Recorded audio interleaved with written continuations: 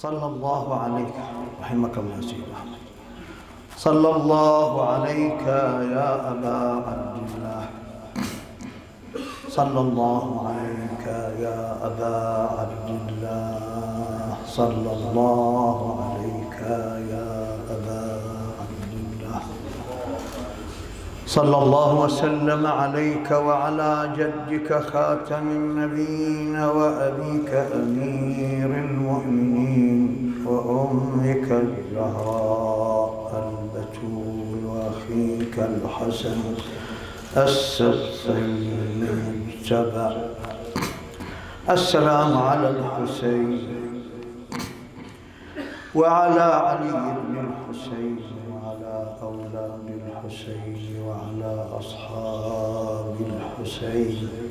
السلام على النساء الثاكلات السلام على الشفاه الذابلات السلام على الملائكة الحافين بقبر الحسين المستغفرين لزواره جميعا. فيا ليتنا يا ابن الزهراء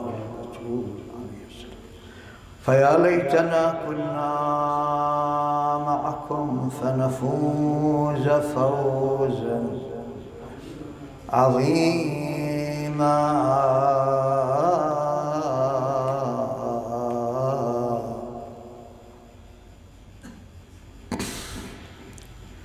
ماذا أقول؟ لا تأمن الدهر. إن الدهر ذو غير وذو لسانين في الدنيا ووجهين. أخنى على عترة الهادي فشتتهم فلا ترى جامعا منهم بشخصين قبورهم لسان لظلامتهم بعض بطيبة مدفون وبعضهم بكربلاء وبعض بالغريين وأرض طوس وسامراء وقد ضمنت بغداد. بدرين حلا وسط قبرين يا سادتي ألمان أنعى أسى ولمن أبكي بجفنين من عيني قريحين أبكي على الحسن المسموم مضطهدا. قل وحسنا فإن الحسن أخو الحسين. أبكي على الحسن المسموم. مضطهدا أم الحسين لقان بين الخميسين.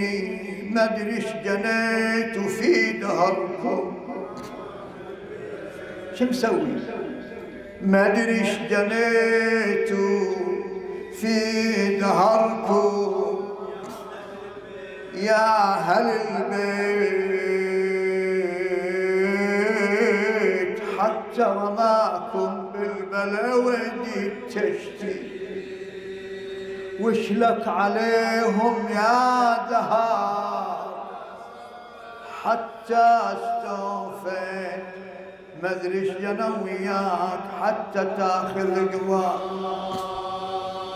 ولا بلد إلا وفيها منهم رؤوس. لا تألف المصاب المصاب عظيم.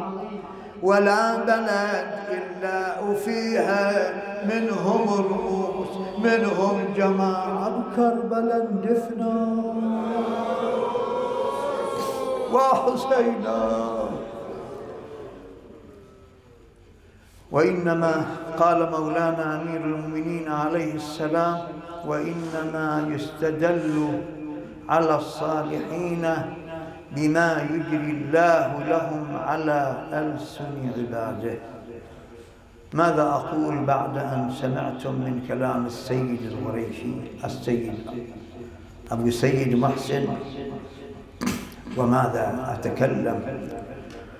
ولكن خلوص السيد أحمد. الشخصية إذا كانت شخصية مثيرة جذابة لها وقعها الكبير في النسب فإن الشخصية نفسها هي التي تعطيك الانطلاق.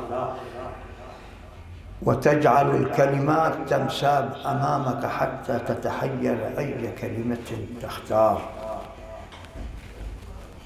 شخصية السيد أحمد رحمة الله عليه. بودي أن أقف أمام الميزان ميزان أهل البيت في التقييم سلام الله عليهم ثم أنطلق منه. هذا مولانا أمير المؤمنين عليه السلام يخاطب أحد ولاته ويقول له لا يضرك هذا المنصب الفاني الذاهب ولا تجعل من منصبك وسيلة لدنياك فإنك تنتهي. انتمي إلى الله تبارك وتعالى. حياك الله شيخنا. انتمي إلى ربك عز وجل. الشخصية بانتمائها. الشخصية بالجهة التي تنتمي إليها. أنت ليست بجسمك الصغير يا مالك. أنت بجسمك الكبير. إن كنت بجسمك الصغير حتى وإن ملكت مصر وصرت واليا عليها فسوف تنتهي بانتهاء هذه الولاية. بل قد تموت قبل أن تموت. فإن الولايات مضامير الرجال والامتحان الكبير للناس. فاصنع لك حياة واصنع لك وجودا بصدقك مع إمامك وسيدك أمير المؤمنين علي بن أبي طالب. أنا إمامك الذي أعلمك الحياة وأعرفك كيف تخلد وتبقى. خذ بقاء من بقائي. خذ حياة من حياتي. انتمي إلي انتماء صادقا ارتبط بي. ارتبط بعلي بن أبي طالب عليه السلام. ارتباطا شاملا. علي هو العقيدة. علي هو الأخلاق. علي هو القيم علي هو العدالة. علي هو الإنسانية العظيمة. علي هو أبلغ لسان لمحمد صلى الله عليه وآله. علي أبلغ لسان للقرآن كما قال مولانا الصادق عليه أفضل الصلاة والسلام. عندما سأله أحدهم وقال له هل فسر رسول الله نرى المسلمين يختلفون في تفسير القرآن؟ أعود إلى لغة الخطابة أرى المسلمين يختلفون في تفسير القرآن. أكان رسول الله لم يفسر القرآن؟ قال بلى. قال الصادق عليه السلام بلى. فسره لرجل واحد وفسر للناس وفسر للناس شأن هذا الرجل. وعلى كل حال الذين انتموا الانتماء الصادق صار لهم البقاء. مات مالك بن الحارث الأشتر وما مات ليث التمار. وما مات عمار بن ياسر. وما مات أبو ذر. وهؤلاء الصادقون الذين انتموا إلى أهل البيت سلام الله عليهم انتماء صادقا. وإني إذ أمدحك يا سيد أحمد. المدح للمؤمن ليس مدح شخص. الله يجري مدحه على لسانك. وأنت تتكلم. لا تشعر برياء ولا تشعر بتصنع. الشخصية تقف أمامك. وإنما يستدل على الصالحين بما يجري الله لهم على ألسن عباده. لا أريد الإطالة عليكم. بعض الخواطر القليلة. قليل في حق السيد. بدأت معرفتي بالسيد أحمد. رحمة الله عليه. أول التقيت بأبيه السيد علوي الوريفي رحمة الله عليه في سنة الثامنة والستين سنة ذهابي إلى النجف الأشرف. وكنت في تلك السنة أقرأ مع الأستاذ السيد شرف الخابوري ذكره الله بالخير. ففي تلك السنة كان السيد يبيت عند السيد علوي فقال نذهب إلى بيت السيد علوي وريفي وأنا بعد عمري 15 سنة أو أكاد أن أدخل السادسة عشر. فجيت تلك الليلة وبيتنا عند السيد علوي وتعرفت عليه وكانت ليلة ما شاء الله على كل حال. في تلك السنة ذهبت إلى النجف السنة الثامنة وستين في ربيع الثاني على كل حال وصلنا إلى وصلت إلى النجف الأشرف. حتى أذكر أن السيد سعيد الوداعي حفظه الله هو الذي ناداه. قال لي الحل دار ما ندر بيت السيد فإجا السيد وكان بعض لم يتعنى تتذكر شيء؟ السيد أمجد قدام بس يشرف كذا لا أريد أن أسهل في هذا الأمر المهم أن السيد على السيد شرف بعد مدة قال لي لقد جاء السيد أحمد من البحرين. سيد أحمد وصل سنة 68 إجا من البحرين. سيد أحمد ونروح نزوره فرحنا وكان نازل في بيت الشيخ أحمد مال الله. رحمهم الله جميعا. وطلع علينا الله يرحمه على كل حال. حديث الأخوة والمحبة والذكريات كيفما كان. بدجامته كذا بحنايته كانت أول المعاريس يحملونهم الأيادي يعني طلع علينا بحملة زينة عرسه. رحمة الله عليك يا سيدي. استقبل السيد شرف على كل حال سلم سلمت عليه. وكانت العلاقة بالسيد أحمد رحمة الله عليه. السيد أحمد عن أي شيء أتحدث كثير. الأشياء كثيرة الأمور كثيرة. أريد أن أذكر بعض الأمور عن هذا السيد النجيب السيد أحمد العريفي تلك السنة التي لقيته فيها كان بيدخل السنة الثانية كلية الفقه.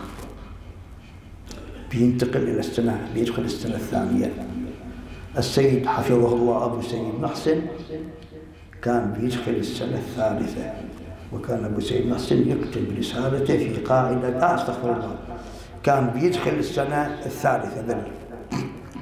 وكان السيد الشيخ أبو سامي أصلح الله أمورنا وفرج عنه وعن هناك كان الشيخ أبو سامي في السنة الرابعة. وكان يكتب رسالته في البكالوريوس في قاعدة لا ضرر ولا ضرار بالضبط في تلك السنة. سنة اللي دخلوا السنة الثانية كان السيد أحمد في السنة الثانية. يعني أذكر رفقاءه. رفقاء الدراسة يسمونها الأكاديمية الدراسة الجامعية. كان رفقاءه من البحرين. كلهم انتقلوا إلى رحمة الله عز وجل وكلنا إلى رحمة الله تبارك وتعالى. ممن كانوا مع السيد أحمد في تلك المرحلة. أستاذ عبد علي أستاذ عبد علي النعيمي رحمه الله الشيخ علي العصفور رحمة الله عليه الشيخ عبد الله المدني. كلهم هؤلاء تخرجوا في سنة يعني دخلوا الكلية في سنة واحدة وأنا أدركتهم دخلوا في صف الثاني أو في المرحلة الثانية في كلية الفقه. تلك الأيام أيام. نعم. ها عبد علي كان معكم إذا معلومة خاطئة صارت. جزاك الله خير. توهمت أنه كان معكم عجيب.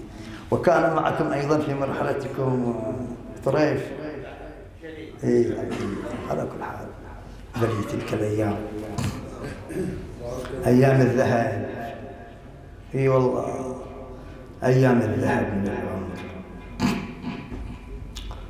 ثم رأيت السيد أحمد. رحمة الله عليه كيف كان يهتم بالعلم. وكيف يهتم بالدراسة. درس دراسة رتيبة. مرتبة. مرحلة بعد مرحلة.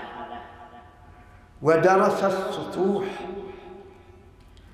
دراسة متقنة. وأذكر في أيام دراسته للمكاسب كان معه قرينان من ثقله الشيخ عبد الأمير الجمري رحمه الله والشيخ محمد ابن الشيخ منصور. رحمة الله عليهم أجمعين. وأذكر كيف يمشون سريعا وهم يحملون كتاب المقاصد. ذلك الكتاب الطبعة الأولية الثقيلة. وهم يمشون يسارعون إلى الدرس عشاق علم عشاق فقه عشاق تفقه تلهف منهومان لا يشبعان. طالب المال وطالب العلم. فرأيت دراسته في كلية الفقه ومع هذا ما اكتفى أن واصل وأخذ الماجستير وأخذ الماجستير بعد البكالوريوس. أنا ماذا أقول؟ اقرأوا هذا السيد في وعيه في أبعاده الفكرية. على مستوى المدرسة الإسلامية. انظروا إليه فيما يختار من, من أمور. اقرأوه في البكالوريوس. وهو يختار اللغة العربية والعلوم الإسلامية. أنا أتحدث بحض العلماء سيدنا المعذرة سيد محسن يعني. تعلمون أن لأهل البيت علوم. يقول الإمام الرضا عليه أفضل الصلاة والسلام لما أن سئل ما معنى قول جدك الصادق سلام الله عليه احيوا أمرنا؟ فقال عليه السلام أن تتعلموا علومنا وتعلموها الناس. السيد أحمد الغريثي قدس الله سره كيف اهتم بعلوم الإسلام وعلوم أهل البيت. وكيف اهتم بأهم آلية؟ أحبتي أنا أتكلم بمحضر علماء وليس من حقي أن أتحدث.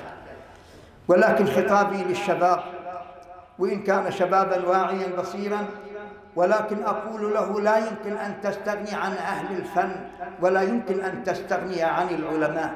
فالعلماء أعرف بالإسلام وأعرف بالمقدمات مقدمات العلم. فانظروا إلى هذا السيد رحمة الله عليه صلوا على محمد وآل محمد. فانظروا لهذا السيد رحمة الله عليه كيف اهتم بأهم مقدمة لعلوم الإسلام. العلوم الإسلامية ما هي العلوم الإسلامية؟ علوم الإسلام العقائد من علوم الإسلام. عقائد الإسلام. الإسلام واقعية الإسلام. الإسلام هو الواقع هو دين الفطرة. هذه الواقعية طبعا واقعية الإسلام في عقائده واقعية الإسلام في أخلاقه واقعية الإسلام في فقهه وواقعية الإسلام في شتى أنظمته. هذه الواقعية لا تلمسها إلا في مدرسة أهل البيت سلام الله عليهم. إشكالات تطرح. لا يمكن إشكالات وشبهات حول الإسلام. لا لا يمكن أن ترد عليها إلا مدرسة جعفر بن محمد الصادق عليه أفضل الصلاة والسلام. السيد أحمد وضع هذه النقطة. هذه العلوم لا يمكن أن يصل إليها الإنسان إلا باللغة العربية. فكتب عن اللغة العربية. ولما أن كتب عن اللغة العربية معناها وجه المتخصص إلى اللغة العربية بكل فروعها اللغة العربية في نحوها نحو صرف بلاغة كل آليات اللغة اختار هذا الجانب. اللغة العربية وعلوم الإسلام. بهبة ما شاء الله. شنو بعد عظيم. شنو تركيز على أمر عظيم. لأن قد يكون الشخص عنده إحاطة ببعض علوم الإسلام وعنده ثقافة ولكنه هش في مقدماته في جانب اللغة مثلا أو بعض علوم اللغة. السيد كيف كان يؤكد على هذه الجنبة؟ ثم انظروا إلى رسالته في الماستر في الماجستير. كتب عن البراءة. وهذا بحث البراءة طبعا. أنا أمام علماء. بحث البراءة يبحثه الفقهاء. البراءة النظر إلى حقيقة البراءة شنو الموقف منها؟ الفقيه ماذا يكون موقفه عندما يفقد الدليل؟ يرجع. إن كانت هناك أدلة تحدد له وظيفة أخذ بها. وإن لم يكن هناك دليل يحدد له وظيفة. هذا كلام العلماء وليس بكلامي. أنا أستفيد منكم على كل حال بس لأجل, لأجل الناس يعني. فهنا الفقيه لما يفقد الأدلة الدليل لا يقف على دليل لا من الكتاب ولا من السنة ولا من الإجماع الكاشف. هنا يرجع إلى إلى ماذا؟ إن كان الشرع حدد له وظيفة أخذ بها. وإن لم يحدد له وظيفة فالوظيفة يحددها ماذا؟ يحددها العقل. فهنا تجي مسألة العقل. ماذا يقول؟ مدرسة قالت أن العقل يقول الأخذ بالبراءة. وما كنا على كل حال البراءة العقلية. ولذلك يذهب بعض الفقهاء مثل صاحب الحدائق رحمة الله عليه إلى أن العقل هو البراءة هو البراءة. طبعا إجوا العلماء توسعوا وطرحوا العقل وأن العقل ليس هو البراءة وإنما العقل أوسع من البراءة. أكو هناك قضايا واقعية عقلية قبح العقاب بلا بيان قبح التكليف بغير المقدور قبح تأخير البيان. إلى ما يفوت الفرصة. ما يصير. أكو, أكو أشياء العقل يدرك قبحها على كل حال. فكانت مدرسة تذهب المدرسة الأصولية المشهورة تذهب إلى البراءة العقلية. إلى أن جاء السيد محمد باقر الصدر. قدس الله سره وقال بالإحتياط العقلي أن العقل يدعو إلى الاحتياط. السيد أحمد قدس الله سره طرح البراءة مطلب البراءة. وانظروا إلى الربط بين هذين الطرحين. على كل حال النقطة الأخيرة التي أريد أن أتحدث عنها السيد أحمد في جلسته قدس الله سره صلوا على محمد وعلى محمد.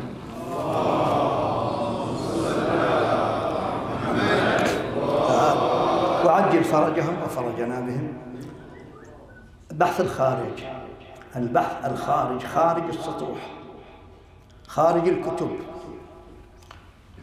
طبعا فرق بين البحث الخارج وبين كتب السطوح. كتب السطوح يعني تدرس المكاسب والرسائل والكفاية ومستواها مستوى الخارج. ولكن الذي يدرسك يطرح يقرر لك ما يقوله ما يقوله صاحب الكتاب. أما بحث الخارج كما أريد يعني معذرة أني أتطفل يعني بحث الخارج صاحب النظرية نفسه يطرح. النظرية بكل توسع. وبحث الخارج قد يجمع التلميذ والأستاذ رحمك الله. الشيخ محمد أنه زين الدين يقول بحث الخارج قد يجمع التلميذ والأستاذ. يصير أستاذ وهو فقيه وهو مجتهد ويحضر الخارج. أنا شفت بعض الفقهاء مثل الشيخ محمد تقي الجواهري رحمة الله عليه كان يباحث خارج ومع هذا يحضر بحث السيد أبو القاسم الخوئي الشيخ تقي الجواهري الشهيد رحمة الله عليه. فلما هو يحضر أقوى حتى ومبتدئ أيضا في البحث الخارج وهو يحضر عند الشيخ التقي مع هذا يجمع التلميذ والأستاذ هذا البحث. والذين يحضرون الخارج يعني المسألة مسألة تشكيكية وهم درجات. أنا حضرت. أنا بتحكي عن نفسي. حضرت حضور جرأة بحث الخارج حتى أن السيد الصدر قدس الله سره قال لي رحمة الله عليه قال أراك تحضر الخارج؟ عن عيش السطوح؟ قلت نسأل الله سكت عني. يريد الجواب. جاوب عدل. إذا أنت مو حاضر روح ادرس لكن يا للأسف ما رأيت هذا الجانب. فتجرأت وحضرت. والذين يحضرون درجات. هناك من يحضر الخارج ويفهم ويستوعب ولكن لا يكتب. ما أريد أذكر أسماء. من لا يكتبون لكن رأيت أختم هذا حديثي بهذا. حتى تعرف أجواء دراسة السيد أحمد رحمة الله عليه. السيد أحمد قدس الله سره. اسمحوا لي طولت وإذا نطول قولوا طولت. ها؟ طولت؟ آخذها له نعم. السيد أحمد رأيته من خير من كانوا يحضرون البحث. وكان إذا حضر البحث يصغي أي إصغاء ويكتب. السيد يتكلم والسيد الغريفي يكتب. يكتب قدر إمكانه ما يسمع. وبعد هذا أنا أذكر أجي إليه البيت. رحمة الله عليه كان سكن في بيت بقرب البيت الشيخ عبد الحسين الشتري. وين؟ جامع جامع الترك هنا. وكان ساكن في هذا البيت وأنا ذهبت. أذهب إليه بعض الساعات الأمر عليه وأراه لا يكتفي بما يكتب بل يش بل يعني يسجل الدروس ويسمعها ويكتبها كما سجلت. هكذا كان السيد أحمد عنده متابعة في الدراسة رحمة الله عليه. وهكذا كان عنده استيعاب. أنا أذكر أحضر البحث وأطلع ما أدري. هو يلتفت إلي رحمة الله عليه. يقول سيد علوي باكر السيد باقر الصدر بيقول كذا كذا كذا كذا. كان يدري ما يقول الأستاذ. عند أي تلقي عند أي اهتمام عند أي دراسة عند أي مستوى. وأنا أذكر كم استفدت منه وصحبته. عند بعض أساتذته أمثال السيد عبد الصاحب الحكيم. سيد عبد الصاحب السيد محسن الحكيم. وهو سيد جليل عالم كبير معروف ولو عاش عنه يكون من كبار المراجع أستاذ السيد أحمد الغريفي قدس الله سره. ومنهم أستاذة السيد محمد رضا الخرسان. رحمك الله يا سيد أحمد وكم كان مشجعا على طلب العلم وحاثا على على الدراسة. وذكرت هذا في أيام أربعين السيد أحمد. قدس الله سره. كم كان يشجع على طلب العلم. حتى أذكر أنه في بعض الأحيان في مجلس السيد علوي الغريفي قدس الله سره لكن الوقت مو بهالحوزة هاي حوزة صغيرة كانت لكنها كبيرة في رتبتها. أذكر أنه قرأت معه سريعا في بعض مطالب الولاية يعني بحث ولاية الفقيه. يقرأها قراءة من نفس كتاب السيد الخوئي بحوث السيد أبو القاسم. وكان يطرح النظريتين نظرية ولاية الفقيه ونظرية الولاية الحزبية. الولاية التي تقول يجب أن تكون هناك دولة قبل الظهور والولاية التي تقول أن الفقيه يجب عليه أن يقوم بما يعجز عن قيامه من يرتب الأمور. كما هي نظرية السيد أبو القاسم الخوئي وتلك نظرية السيد أبو سيد مصطفى رحمة الله عليهم. أجمعين. فكنت أذكر أنه يقرأ قرأت معه شيئا من هذا البحث. وكان يريد أن يتنفس تنفسا علميا وعنده ما عنده. لكن أين المتلقي في ذلك الوقت؟ رحمك الله يا سيد أحمد. رحم الله من قرأ له سورة الفاتحة.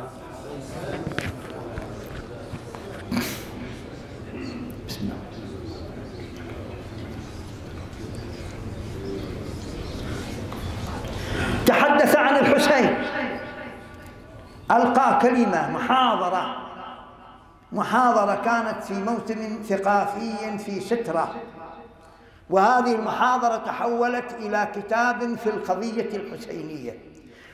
وأوجز موقف سيد الشهداء عليه السلام في قليل من الكلام كان كثيرا. فقال رحمة الله عليه الحسين سلام الله عليه في رفضه لبيعة يزيد أراد أن يخلع ثوب الشرعية عن خلافة بني أمية. هذا الرفض يمثل خلعا لثوب الشرعية عن الخلافة الأموية. وهذه تبقى له كلمة مدوية باقية. وكان كم يهتم بأهل البيت.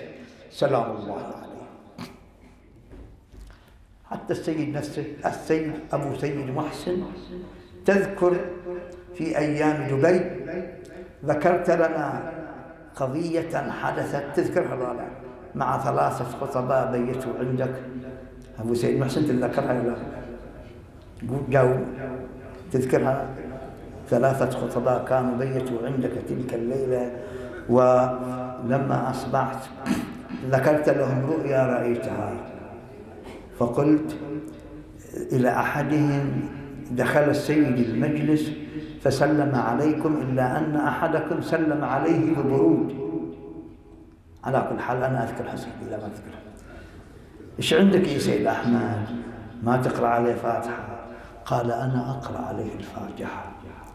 قالوا الشيخ الخطيبان اللذان معه أجابوا قالوا سيدنا جوابها عندنا. البارحة هو كان يحكي ويانا ويقول لنا إنتوا تطولوا في المصيبة واجد. يقول أنا رأيت السيد أحمد. السيد عبد الله حفظه الله. رأيت السيد أحمد قد أقبل إلى المجلس وكان بيده كراس. أشبه بكراس كتب النساء. فيه رثاء للحسين عليه السلام. وكان مما قال اقرأوا هذه الأشعار فإنا نحبها. رثاء أبي عبد الله الحسين. سلام الله عليك يا أبا عبد الله. أذكر من كلماته رحمة الله عليه. أحب أن أذكر أشياء التي ذكرتها من انفردت بذكرها. يقول سيد علوي قلت نعم قال أتدري لماذا بني أمية رفعوا رأس الحسين على الروح ليش رفعوا رأس الحسين قلت ما هو التفسير؟ قال يريدون أن يرهبوا الناس ألا يقتربوا من كرسيهم ويقول لهم هذا الحسين بن بنت نبيكم لما أن مس عرشنا صنعنا فيه ما صنعنا ورفعنا رأسه على الروح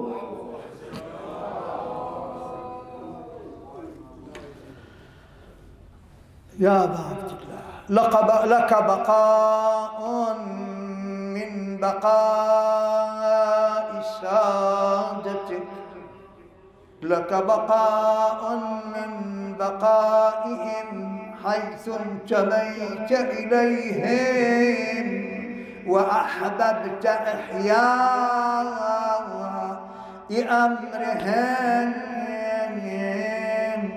لا نساك في السنة التي حججنا فيها سيد أحمد في السنة اللي حججنا فيها ونظرنا إلى قبور أئمة المغرب السيد أحمد لما نظر بكى سيد تبكي قال كيف لا أبكي وأنا أنظر إلى مظلومية أهل البيت. إذا جاء عند الضريح كيف يقبل الضريح؟ تلك الأيام ينتهج الفرصة فيقبل ضريح النبي ويعتنق ضريح رسول الله أي اعتناق كأنه معيدي رحمك الله. هكذا ربط القلوب. بأهل البيت سلام الله عليهم.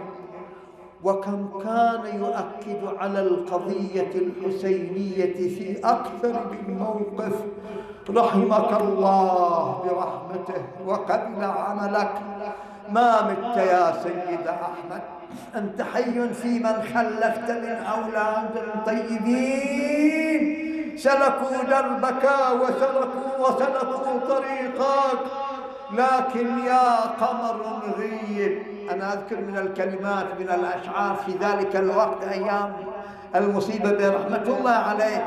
يقول أحد الشعراء يقول أحد الشعراء يقول يا قمر غيب قبل الأوان يا قمر غيب.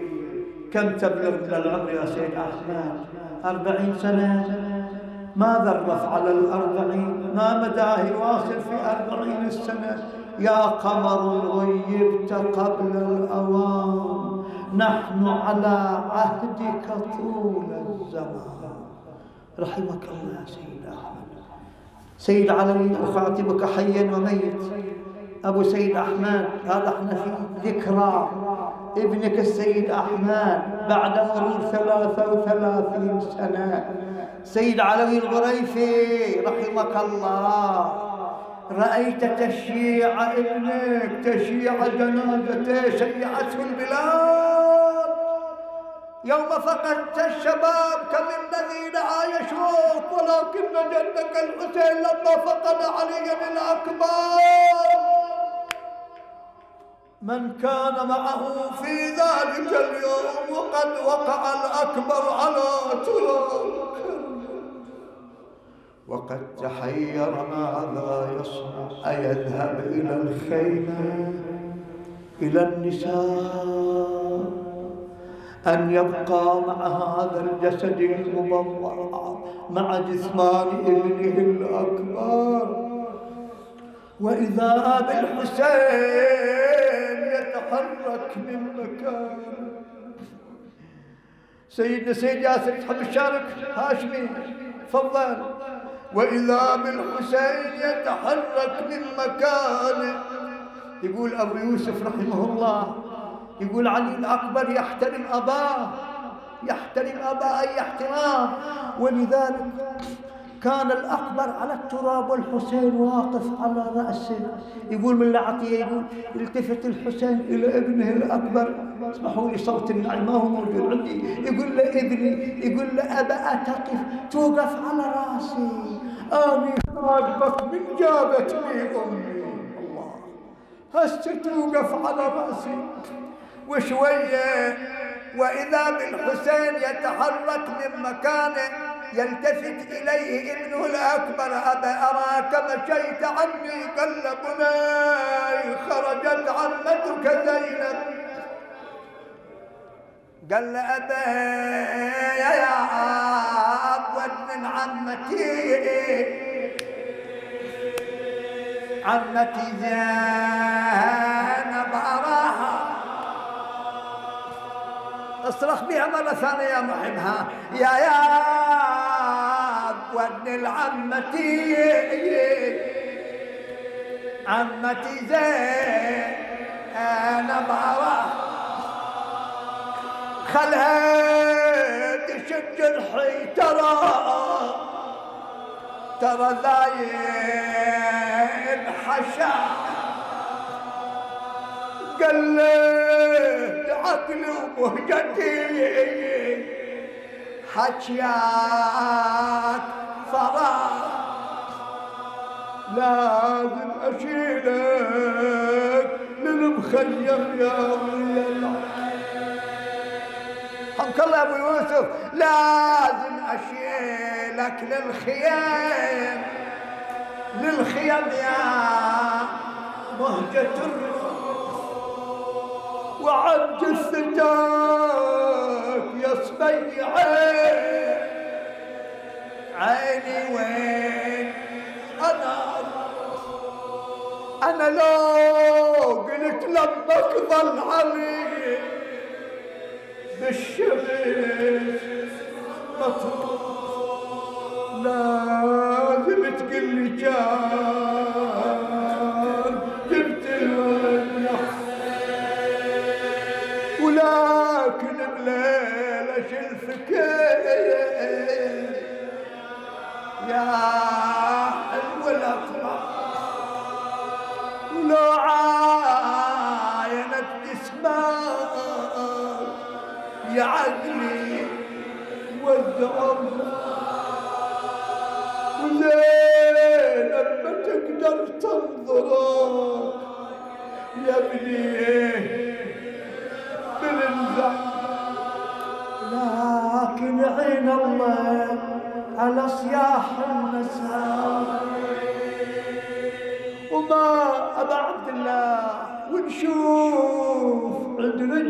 علي